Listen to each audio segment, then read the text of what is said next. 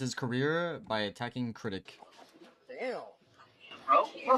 This TikToker will regret this moment forever, as it will likely have serious implications for his career and his freedom. So the guy on the left here is the gym TikToker by the name of Big Mike Van Wyck, and the guy he just jabbed in the neck is another gym influencer by the name of Jeff Nippard. Both of these guys have massive social media platforms, and over the last couple of days, they've been beefing online. Unfortunately, for both of them, I guess, uh, they work out at the same gym, and what we just saw is the outcome of their online beef. So to Wait, so they work at the same they they work out at the same gym, but it's taken in this long before like an altercation happens? Wait, what?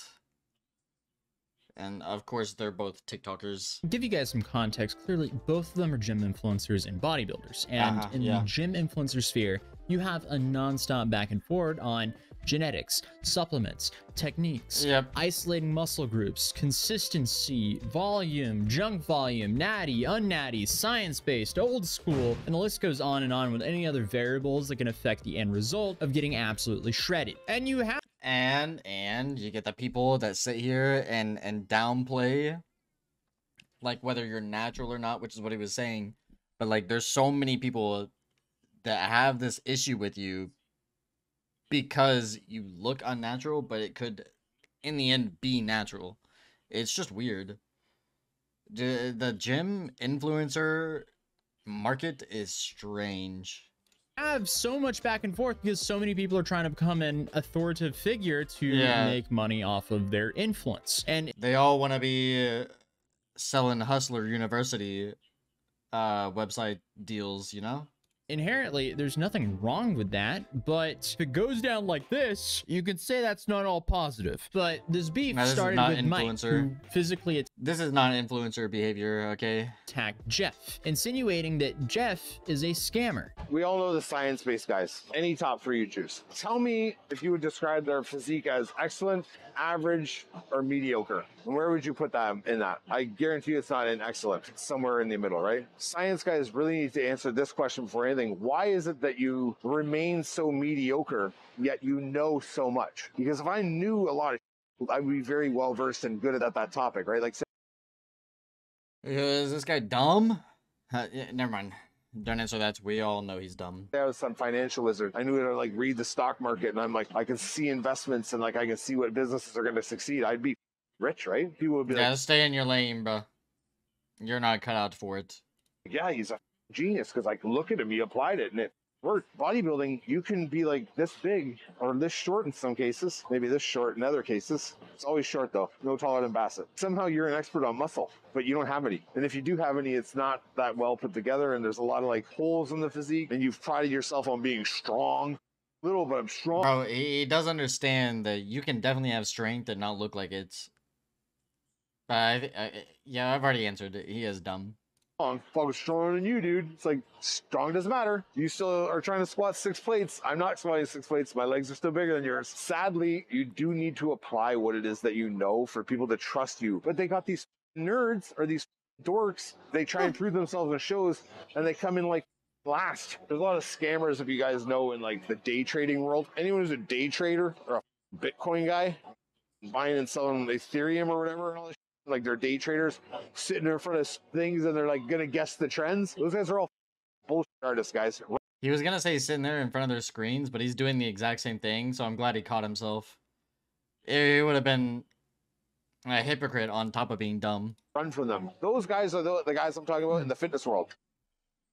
Okay, TLDR. Ooga booga big man say science man scammer because science man doesn't have physique like big man. Yeah. Right. So Jeff the science man over here fired back with a more thought out video. I don't know the science-based guys. Science guys really need to answer this question before anything. Why is it that you remain so mediocre, yet you know so much? I know I don't need to respond to this, but since he asked, using science based training, I won Natural Bodybuilding Nationals. I earned my pro card on the most competitive stage in the World Natural Bodybuilding Federation. I placed second in my first bodybuilding pro show, and while doing this, I set the Canadian record on the bench press, and I set a provincial record on the squat. I currently weigh 180 pounds at 5 foot 5 inches tall, which is pretty close to my natural limit given my height and my genetics. That's all besides the point though, because facts are facts. Information is either right or wrong, it doesn't matter who that information is coming from. If the people with the best physiques had the Yeah.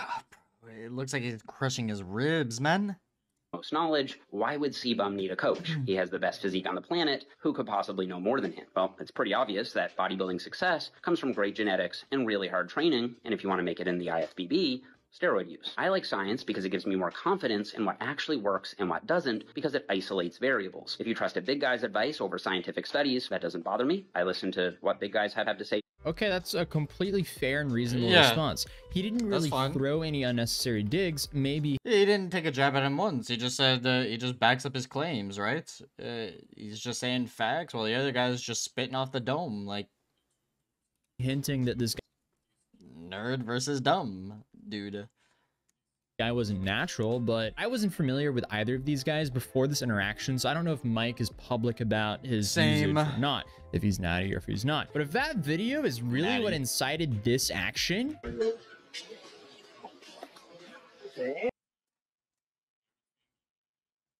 Yo, yo, what is your deal, man? action,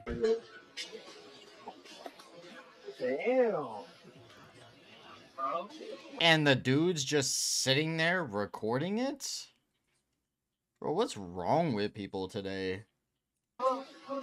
something's wrong. That looks a lot like roid rage behavior to me. I just don't see the point in crashing out over a literal harmless Instagram response video, especially when you threw the first digital punch to begin with, because Yeah, you were asking the questions and he's just giving you the answers, right? It's not the answers you want, but it's the answers. You, can't just you can't just roid rage over that. Bro. What? Ironically, he also threw the first physical one as well. But here, Jeff went on to Instagram to respond to this with a picture of him clearly at the hospital by saying, If you've seen the video by now, I want to clarify the incident. First, I want to give an update that I got a CT scan the other day and I'm okay. In case you didn't see it, this is exactly what happened and there was many witnesses. Mike Van Wyck jabbed me in the throat twice in the middle of the gym and then shoved my cameraman. There is already a lie going around that Mike asked me to stay away from him and then I didn't listen and approached him first. This is false, and Pure Muscle and Fitness has the security camera footage to prove it. I think they should release it. This is exactly what happened. I was filming bicep curls for a YouTube short. Mike brushed by me and said, Sup. This is our first engagement that day. I chuckled. Mike then said, Oh, things are about to get real funny as he walked past me. I then asked him, What do you mean by that? And I made sure my cameraman was filming in case he tried any funny business. Then he walked back towards me and said, Turn that camera off, and immediately jabbed me in the throat and I fell onto the floor. Pure Yo, the, this dude, the the guy that shoved him, not the person writing the post. Okay, I just want to clarify. The person that jabbed him in the throat has uh he's just like riddled with insecurities. Most likely. It's crazy. Muscle and Fitness allows filming, by the way. I stood back up and he told me to never talk about him ever again. Then he jabbed me in the throat for a second time, turned to my videographer, and pushed him against the cable machine. And then he walked away. That's the full story. What a there's gym security footage to prove it. It's up to the gym if they want to release it. As of now, Pure Muscle and Fitness is still allowing Mike to train clients at the gym. I also want to No, that, that's an L gym. L gym, dude. How, how are they gonna allow him to still train there? After causing an altercation. Mike to train clients at the gym. I also want to say I really, really appreciate the outpouring support from the community and from other gym members. Ah, it's honestly course. making the situation a lot easier to deal with for me, so thank you all so much. I don't know why he attacked me other than he really, really, really hates my training style. I certainly gave him absolutely no reason to hate me, and if I did, there's no excuse to physically attack someone over a disagreement. My opinion is Right. that resultant anger was brought on by the clip I posted yesterday responding to his question about science-based training. Which he was just giving answers to. And like I said, the dude probably did not like the answers. So then don't ask the questions. You I almost caught myself again. The dude is stupid. Welcome back, man. pretty wild stuff. Yeah, over. I mean, this is just an insane reaction to some online beef. Sounds like a sensitive, tough guy with a lack of emotional control. Yeah, It's kind of funny as the top comment on Mike's original video is, "Lol, enjoy the prison workouts." That will also be interesting to see if anything like that happens, because who knows if charges will actually be pressed here or I'd if press 'em. lawsuits come out of this, because this all happened in Canada. They're a little bit more relaxed than the lawsuits over there is what they are down here in the U.S. And this is such a weird situation because you normally don't expect influencers at this size to be crashing out physically I don't know. I think a crash out is like everyone's susceptible to a crash out. assaulting each other. You would think that would be a little bit beneath them, but I guess this channel I mean, look look at the the uh, uh what's his name? Taylor, Tyler, Tyler, Tyler, and um the other haunted house dude. I can't think of it. To I mean, think about that. That was kind of a crash out. really proves time and time again that not much is below certain influencers. They really do crash out over the dumbest things possible. Okay, so True. quick update. Mike has now officially been banned from that gym, but Thank God. as of recording this, there's no update on any criminal charges or lawsuits filed yet. But other than that, as many of you guys know, Matt City's doing an exclusive Halloween drop, which you guys only have Yep, about a week left to get before it's gone forever. So Pick if up you your want to support the channel another way, you can go to matt.city down in the description down below. Check out the Halloween collection. We also just dropped a space collection with the moon and Mars bases, and we also just dropped Washington, D.C., with many more cities to come soon.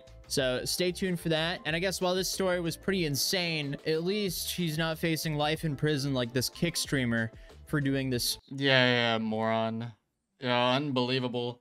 Influencers are so uh, cringe, cringe.